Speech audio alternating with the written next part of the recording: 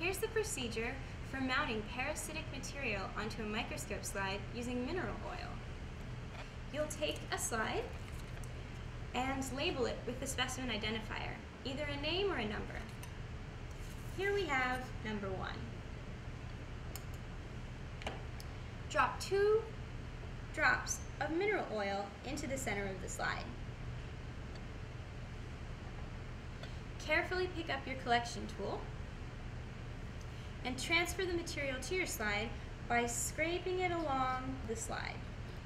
Carefully put your collection tool back on your workstation away from the slide preparation area.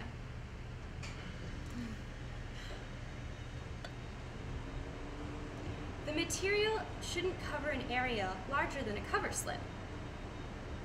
Grasp the cover slip at the ends with the tips of your fingers and get as close to the slide as you can. Try and touch the liquid before you drop the cover slip so that no air bubbles form. Place your prepared slide where the judges tell you to put it. Use an alcohol, hand sanitizer, or wash your hands afterwards to ensure proper hygiene.